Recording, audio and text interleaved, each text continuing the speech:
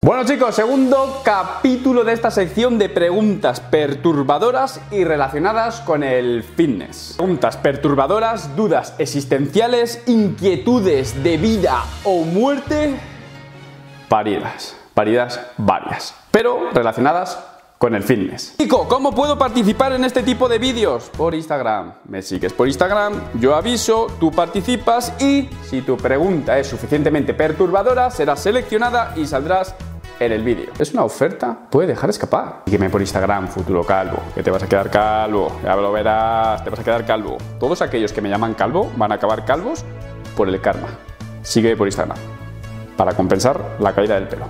Comenzamos, justo punto Justo punto Olcese nos pregunta, si no hace retracción escapular cuando está en 4, ¿no es la indicada? Dios, qué puto daño ha hecho el dinamita con eso, ¿eh? Este piquín perturbador se refiere básicamente a cuando la chica está a cuatro patas y tú estás detrás con las manos ahí frotándote y pensando, madre mía, ¿cómo te voy a poner? Yo sinceramente, si estoy en la situación y ella está con el culo en pompa y yo estoy así y me hace retracción escapular, me daría muy mal rollo. Y la diría, tú consumes los vídeos del dinamita. Infiel. Eres infiel a pico. Salas de David nos pregunta, ¿por qué no existe el ciclismo natural o el atletismo natural y sí el culturismo natural? Básicamente porque todos los deportes se presupone que no se consume, porque sería hacer trampas. Se presupone porque luego todos van como van. En cambio en el culturismo es al revés. Se presupone que todos van como van y todos van como van. Lo cual, como en el culturismo clásico se entiende que todos van hasta el culo porque lo van, pues tienen que hacer una categoría específicamente que diga culturismo, un cartel, ¿eh? aquí, natural, aunque tampoco van todos al natural. Esto lo me gusta tu... la hostia bendita. Corolario, si hace retracción escapular cuando está a 4, ¿se la ha cepillado Power Explosive? Obviamente esta pregunta va en relación con la primera, sí. Si se la ha cepillado Power Explosive, esa muchacha ya no es natural. y no tiene por qué. Quizás es una explosivita, muy fan y consume mucho sus vídeos y le ha quedado muy interiorizado que tiene que hacer retracción escapular siempre. De hecho, estoy haciendo el vídeo sin retracción escapular. Ahí, así salud de mis hombros no está en juego. Dav barra baja Villa 98 nos pregunta si Power Explosivo se come una dinamita, es doblemente explosivo y doblemente dinamita. Si el dinamita se come una dinamita, básicamente moriría por intoxicación con la pólvora. ¿No? Ahora, si el dinamita se acopla aquí en el costado una dinamita, entonces sí que sería doblemente dinamita. De Pacasi 190-oficial, sí, oficial de la Marina. Nos pregunta, ¿por qué la mayoría de los calisténicos parecen flamencos? A mí no me perturba eso, lo que me perturba es ¿por qué los flamencos se parecen a los calisténicos si los flamencos no hacen calistenia?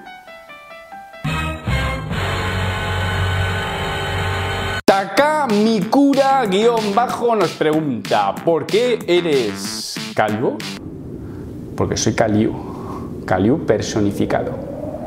El Señor Todopoderoso tenía que diferenciar a los hombres normales de los hombres que molamos. Y como éramos minoría los que molamos, pues nos quitó el pelo. Soy ateo, es broma, obviamente. Lo mío es por herencia. Hola papá, gracias.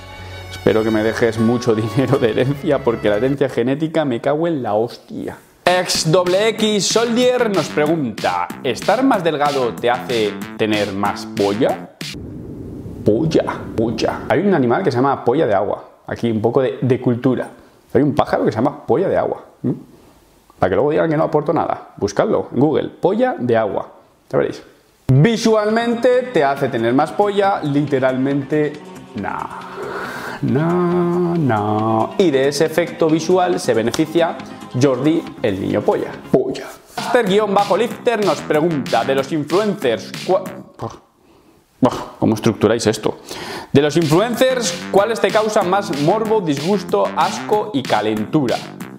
Sabrosón. Saludo.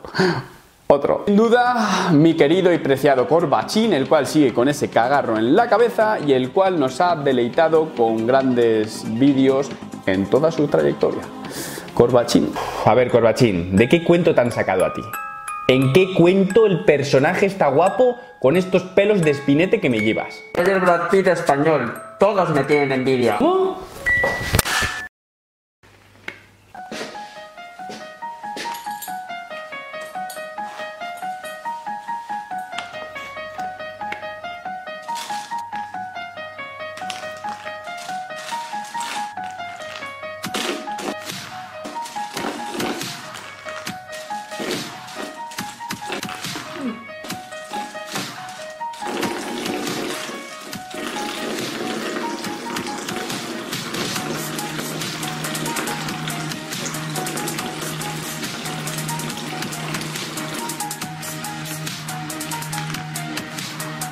Hacer un inciso. Yo en realidad no malgasto energía odiando a la gente, y menos a la gente que literalmente o de manera directa no me hace nada.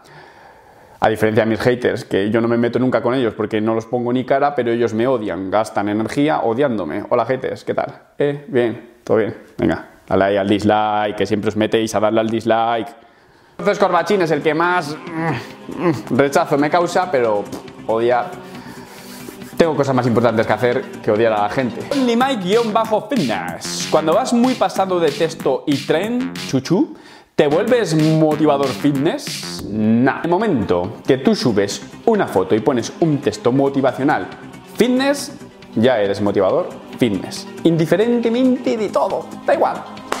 Ya eres fitness, motivador. Víctor Lloret nos pregunta, ¿por qué no existen los gimnasios con vídeos porno para subir la texto? Sí, ¿eh? Básicamente este piquín se refiere a que haya un gimnasio con múltiples pantallas y que todo el rato se visualice porno. Esto subiría la testosterona y los entrenamientos serían más eficientes. Pero no, no sería así. Habría algún fenómeno que se vendría arriba y acabaría sacando la sardina y haciéndola vomitar. Y lo sabes. Postdata, conozco gente que se toma tan en serio esto, esta supuesta subida de testosterona por visualizar porno pero no eyacular, que lo hacen antes de ir al gimnasio. Sí, conozco gente así. Le dan mucha notoriedad a, esa supuesta subida. Qué optimistas. Dress Fit Perú. Entendemos que es fitness y que es de Perú. Si tienes más glúteo que ella y ella usa Royce, ¿te penetra con su persevero? Si no recuerdo mal, creo que micropene era en torno a 4 centímetros o 6, no sé cuánto era. Qué tristeza, la hostia bendita. Dudo mucho que por mucho que se dope una tía, su clítoris supere esa longitud. Por lo cual, aunque quiera, no puede. Porque creo que un micropene es completamente disfuncional. Creo, ¿eh? Es que como no tengo ese problema, pero me suena de, haberlo leído. Yo tengo otros problemas, pero el de micropene no. Es muy grande.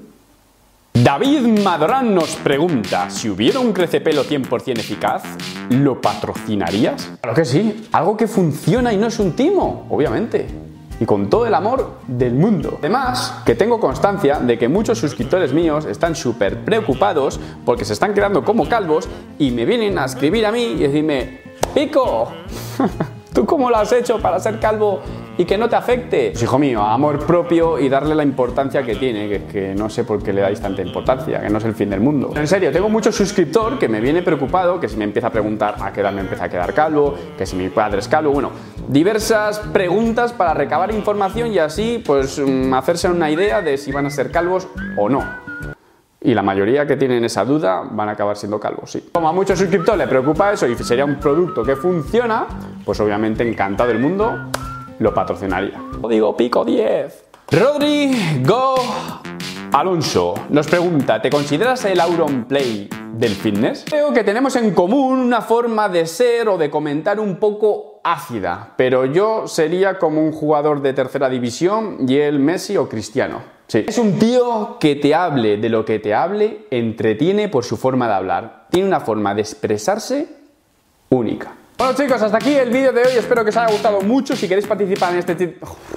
Bueno chicos, hasta aquí el vídeo de hoy, espero que os haya gustado mucho, si queréis participar en este tipo de vídeos tenéis que seguirme en Instagram, que subo mi calva completamente hipersexualizada, y como siempre os digo chicos, muchas gracias por verme, os mando un saludo, un abrazo, ya está, luego...